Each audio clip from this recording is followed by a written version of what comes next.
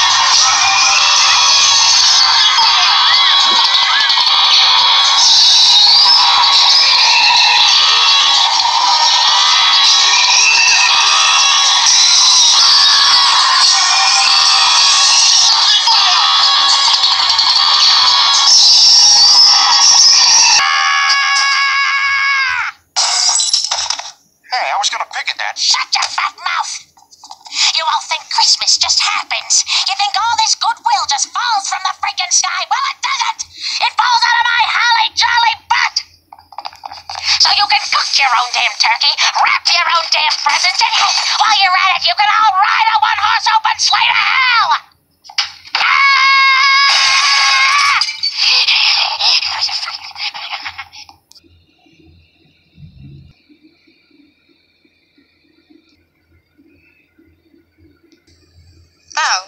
Here's the paper towels.